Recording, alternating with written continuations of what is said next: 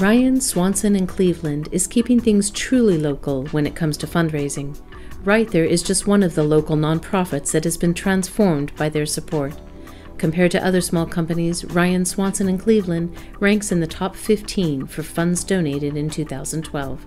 We serve kids who have faced a lot of trauma, neglect, abuse. We also serve teenagers who face addiction issues, as well as families who face issues related to adjustment issues with schools or parents or peers. A portion of the funds raised by the employees of Ryan Swanson enabled Ryther to purchase digital cameras for their art education program. Those boys got digital cameras for the cottage as a whole, and through the reception of those cameras, we use them in our art education program.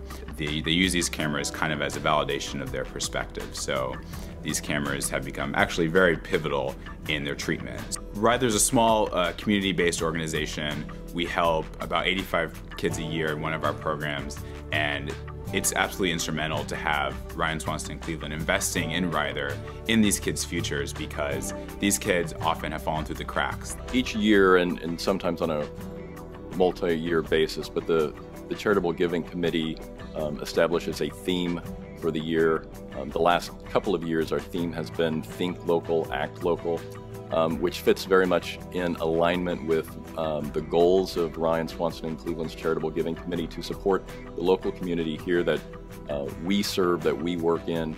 We are a local firm, a long-term, um, long-standing firm in the Seattle community, and so we want to support that market um, and the charities and organizations that are um, actively involved in assisting the community here locally. Congratulations, Ryan Swanson and Cleveland.